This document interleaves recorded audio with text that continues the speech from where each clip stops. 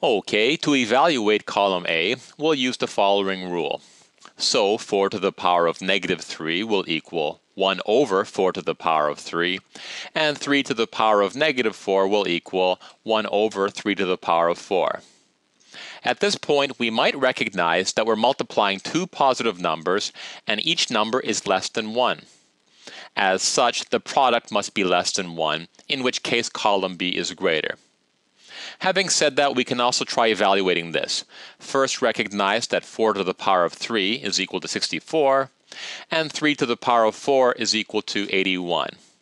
From here, we multiply numerator times numerator and denominator times denominator to get the following.